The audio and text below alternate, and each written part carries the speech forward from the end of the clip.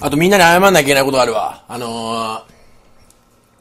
まあ、誰とは言わないけど、俺の好きな女優さんが、まあ、結構前に引退しちゃった女優さんが、あのー、AV 引退しちゃったのね。で、で、とある、まあね、あのー、お店で働いてるってなって、あ、もう絶対あの子とエッチしたい。もう本当あの子とエッチしたいってずーっと思ってたのね。で、あ、出勤だってなって、ちょっとすごい、チャンネル会員数1ヶ月分ぐらいの額だったの。90分で。手持ちなかったからおめえらの金ですよ、言ったわ。12万くらい使っちゃった。ごめんね、なんかみんなの、みんなの、これはなんか俺は手つけちゃいけないと思ってさ、手出してなかったんだけど、ずーっと、もう、ああ、いいや、別に、あ、バレねえからいいよ、つって。やっちまったよ。12万くらい使っちまったよ。でごめんね、なんか、いい思いさせてもらって。これを正直に話すことで俺は、懺悔、懺悔するわ。もしバレた時にシャレになんねえから。よかったわ他人の金でなんかあんないい女だ。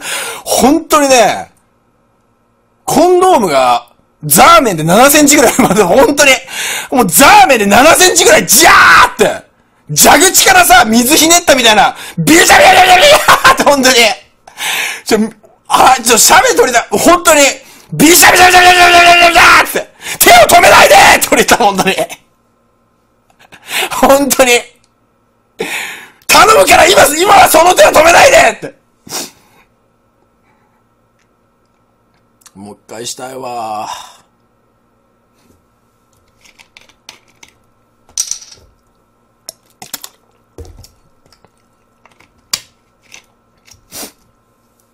で、なんかそのね、カードを持ち歩かないからさ、俺。いつもその、病院で働いてるお給料で全部やりくりしてんのね。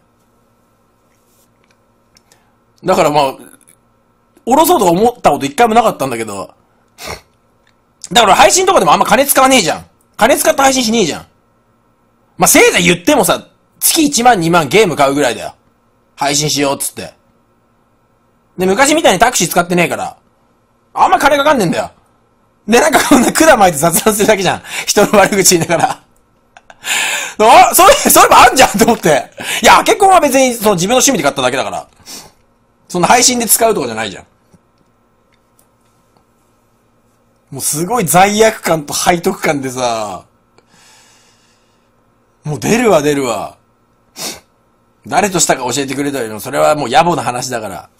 言わないけど。野暮な話、野暮な話だから。みんなの分まで精子出してきたからさ。また仲良くしようよ